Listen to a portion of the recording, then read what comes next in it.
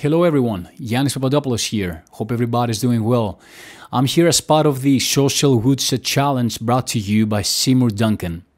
In order to enter the challenge, you need to post a video of you playing the lick and use the following three hashtags. 1. The Social Woodshed 2. Seymour Duncan and 3. Yiannis Papadopoulos. The winner gets a 30 minute Skype or Zoom lesson with me and the two runner-ups are going to get some very cool merch from Seymour Duncan.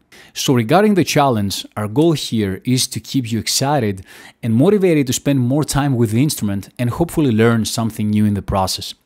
So you can take the lick, practice it as is, and play it up to speed. Fantastic! If you want, you can get even more creative and use the lick as a whole or parts of the lick inside your solos or improvisations on top of backing tracks that you love.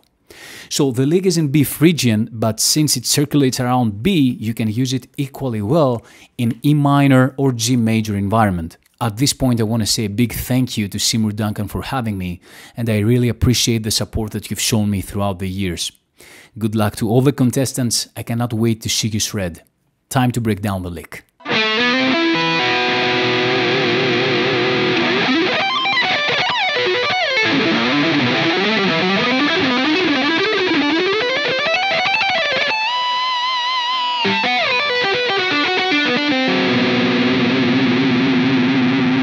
So the lick is divided in four different parts. We are going to begin with the introduction.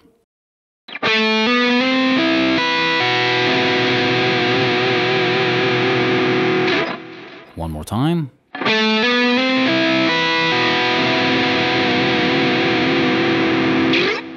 Now for the second part of the lick that uses sweep picking and tapping, I had in mind the sequence C major, B minor, A minor, back to B.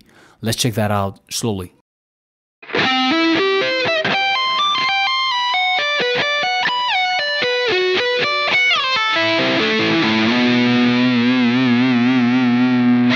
One more time.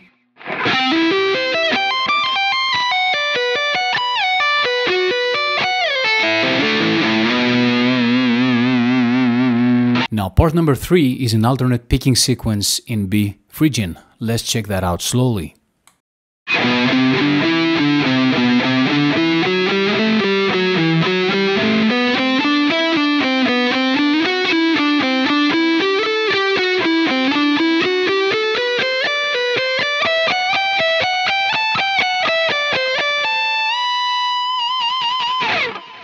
And one more time.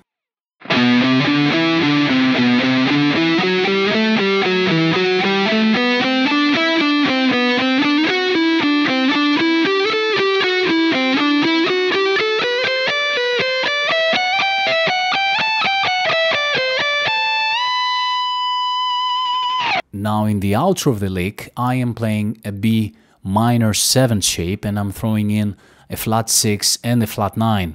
So in this case it's going to be a G and a C. Let's check that out.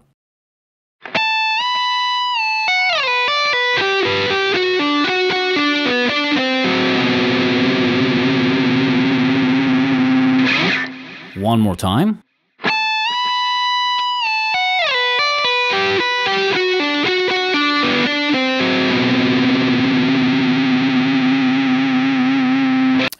That was the lick guys. I really hope you dig it. Thank you very much for checking the video. Stay safe and rock on.